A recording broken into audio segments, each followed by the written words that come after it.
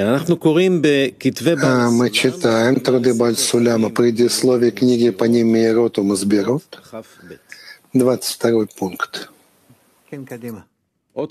Вперед. 22 пункт. Теперь нам понятно высказывание мудрецов, с которого мы начали, что Творец не нашел другого сосуда, способного удержать благословение Израиля, кроме мира. И мы остановились на нем на вопросе, почему это высказывание было выбрано для завершения Талмуда. И понятно из сказанного выше, что из-за греха древо познания. У Адама исчезла душа вечной жизни, которую Творец вдохнул в его ноздри для потребности одного лишь Адама Решона, и он получил новую форму, называемую испаренной жизни. Другими словами, общее разделилось на великое множество элементов, на множество капелек, которые были поделены между Адамом Решоном и его потомством плод до времени конца. Так, что в действиях Творца нет абсолютно никакого изменения. Но здесь появилась дополнительная форма, состоящая в том, что тот общий свет жизни — который содержался в ноздрях Адама Решона, распространился в виде длинной цепи, вращающейся на колесе изменения формы во многих телах, в одном теле за другом, сменяющие другое вплоть до обязательного конца исправления. И таким образом получается, что в день вкушения с древа познания вечная жизнь отлетела от него, и, соединившись через детородный орган, в одну длинную цепь. И получается, что человек живет не ради себя самого, а ради всей цепочки целиком. Таким образом, что каждое звено в цепочке не получает свет жизни в себя, а лишь передает свет жизни во всю цепочку в целом. То же самое мы находим в отношении а, меры его долголетия, лет его жизни. Ведь в 20 лет он уже способен взять себе жену, и 10 лет приличествует ждать рождения сыновей, как сказали наши мудрецы. И получается, что в 30 он уже наверняка родил сыновей, и тогда он сидит и ждет сына, пока не дойдет до сорока лет возраста Бенны, так чтобы он мог передать ему свое состояние и знание, которое он обрел сам, и все, чему он научился и унаследовал от своих предков, и он может быть уверен в нем, что не пропадет это при несчастных обстоятельствах. И тогда он тут же отходит в мир иной, а сын его берется за продолжение цепочки вместо отца. Итак, выше выяснилось, что ситуация с грехом, грехопадением древа познания была обязана случиться с Адамом Решоном, как сказано. Страшно делая его для сынов человеческих, ведь он должен обрести в своем строении внешние клей для получения окружающего света, так, чтобы две противоположности появились в одном носителе, в одном предмете. В два разных момента времени друг за другом. И во время его малого состояния Катнута он будет питаться от стола Ситрахара. И благодаря наслаждениям, связанными с разделением, которое он получает через нее, у него растут получающие килим пустого пространства в желаемом объеме. И когда он доходит до Гадлута, до большого состояния и занимается Торой заповедями, у него появится способность изменить большие получающие килим на отдачу, что является главной целью, называемой светом истины и печатью. Однако известно, что до того, как соединиться со святостью, он должен вновь отделиться от всех форм получения, которые он взял со стола Ситра Ахаре, подобно тому, как нам предписана заповедь любви всей своей душой, всем своим существом. И в таком случае, чего же достигли мудрецы своим указанием, если он вновь потерял все, что получил от Ситрахара? Изучаем это как следует. А потому управление Творца вызвало множество тел в каждом поколении.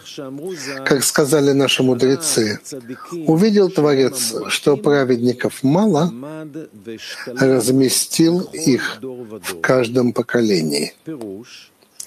Это означает, что Творец увидел, что праведники в итоге совершенно отвергают получение ради себя и потому уменьшают свой окружающий свет, так как от них уходит от внешний клей, предназначенный для этого, и потому он поместил их в каждое поколение.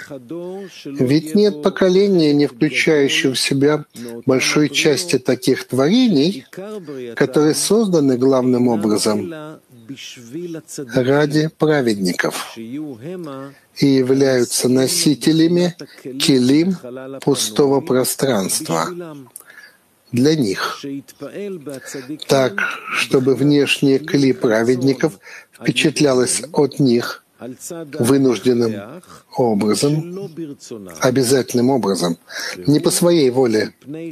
И это связано с тем, что все жители мира соединены друг с другом, чтобы впечатляться друг от друга, как в склонностях и устремлениях тела, так и в мнениях.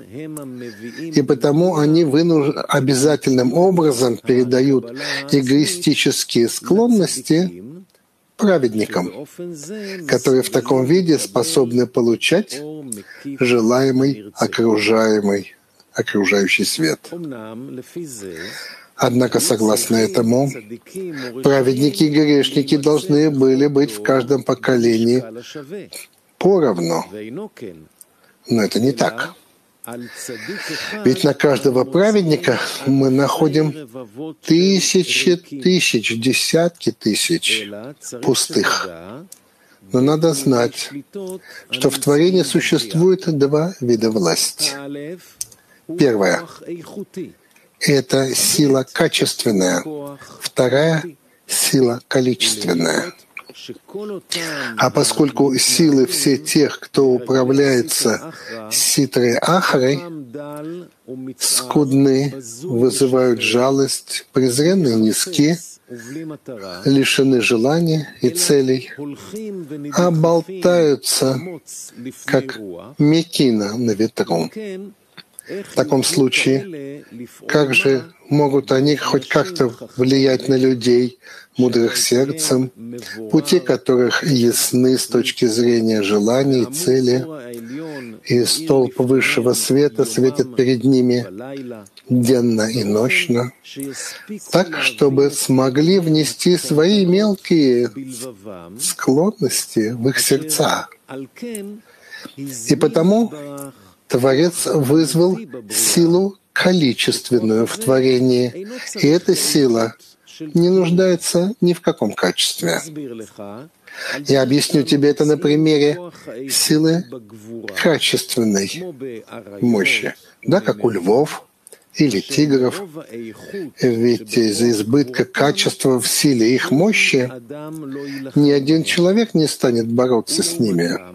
А в противовес этому мы находим силу и мощь, не обладающую никаким качеством, а обладающие одним лишь количеством, как у мух. Ведь из-за их несметного количества ни один человек не станет с ними воевать. И вот эти путешественники чувствуют полную свободу в доме человека, на его накрытом столе, а человек чувствует себя бессильным и слабым перед ними. В то же время в отношении мух и гадов и тому подобное, да, незваных этих гостей, несмотря на то, что сила их обладает большим качеством, да, чем сила домашних мух, человек не успокоится и не угомонится, пока полностью не выгонит их из своих владений. И это вызвано тем, что природа не даровала им такую силу количества, как у мух.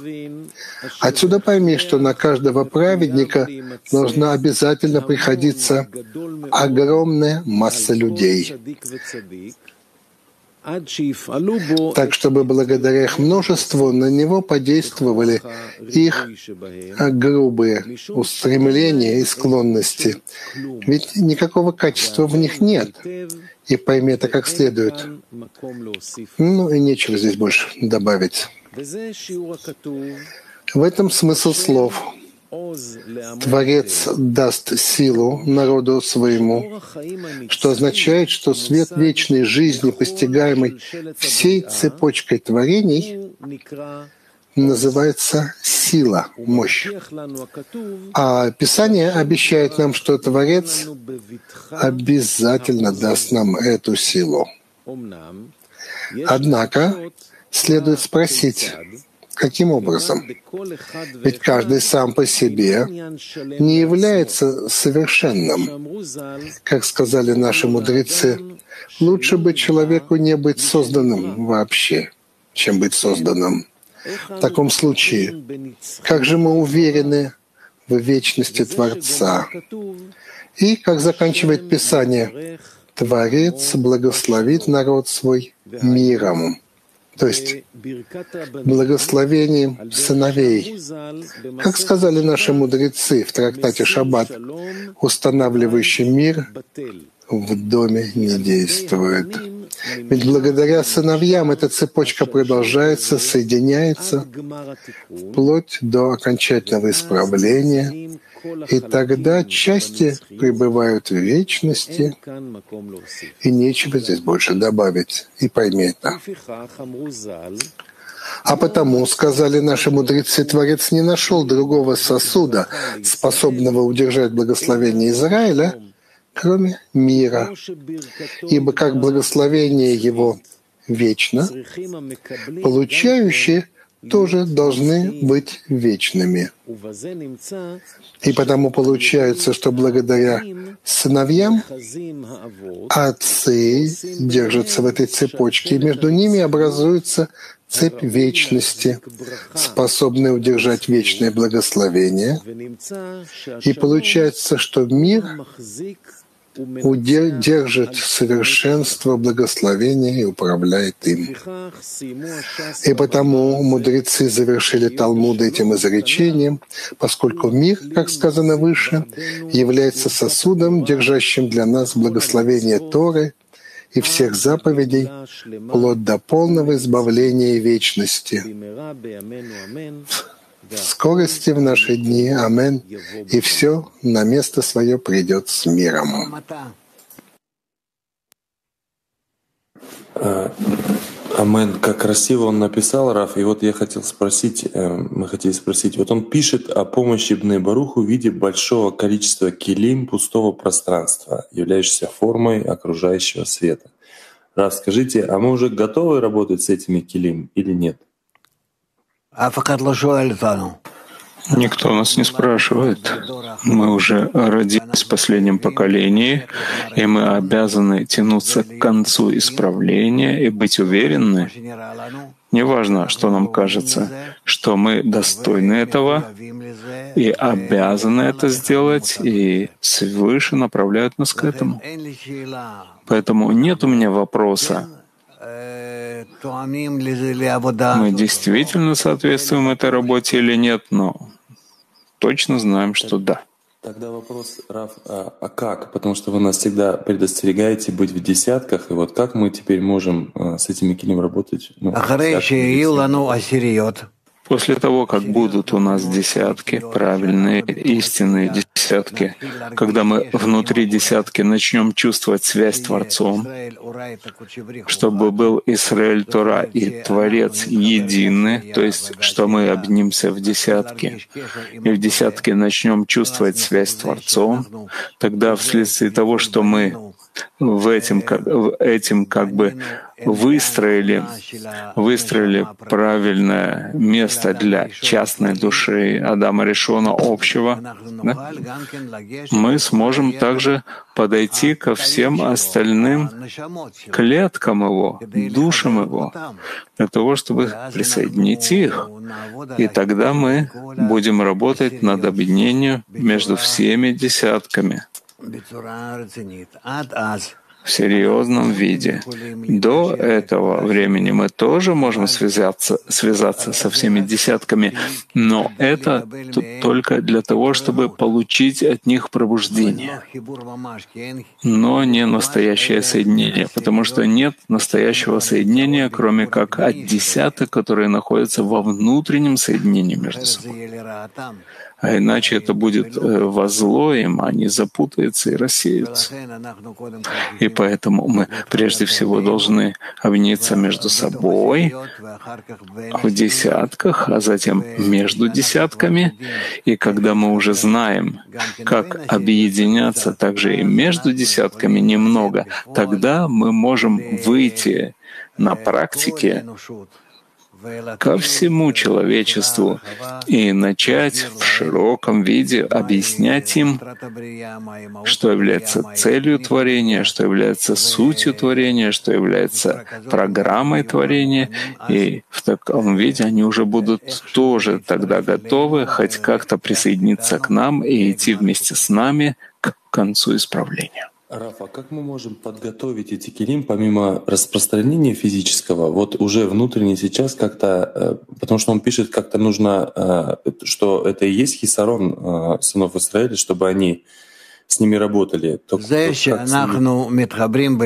то, что мы объединяемся между нами и обращаемся к Творцу, чтобы помог нам в объединении между нами, мы также намереваемся прийти к тому, что мы придем к нашему объединению и к соединению когда-нибудь со всем человечеством, и что человечество хоть как-то будет готово к этому с помощью нашей теперешней уже работы, хотим мы того или нет, но мы находим находимся в единой системе. И тогда мы, когда выйдем на широкое распространение, они будут готовы к этому. И так, и так мы уже соединимся с ними, и они почувствуют это. Они тоже начнут сами двигаться к нам. Это это так оно будет. на фотографию, Раф, как бы на фотопленку. Фотография сфотографирована, как бы уже присутствует, но не проявлена еще. И поэтому я вот думаю, как бы ее наполнить, э, чтобы проявить это. Ты пока что работай в десятке на объединение, и насколько возможно в вашей маленькой области вокруг десятки вы можете начать уже распространение, кроме объединения с другими нашими десятками. Да. Хайфа один. Шалом, а кто вот это сыновья? Тот, кто стремится к Творцу. Мак 16. Спасибо. Вот в статье сказано, что Творец не нашел другого сосуда для Израиля, кроме мира. о каком мире идет речь и что значит, что мир — это сосуд? Шалом. Мир называется шалом. Шалом от слова шалем, совершенный, полный. Поэтому Творец видит будущее мира в том, что все желания исправляют себя на ради отдачи друг другу с помощью того, что будет у них намерение ради отдачи, они соединяются, эти желания вместе, и приходят к цельной системе, которая полностью находится во взаимной внутренней отдаче. И тогда Творец раскрывается внутри этой внутренней системы, система постепенно, так же, как они объединяются между собой. В авиюте Алиф, Бет, Шореш, Алиф, Бет, Гимель, Далит, так Творец раскрывается в них в Нефиш, Руах, Нишама, Хая и Хида. Это то, что должно произойти. Москва 6. Да, Москва 6. А какая разница между вот этими мухами и львом? Ведь и там, и там человек не может справиться с этим желанием.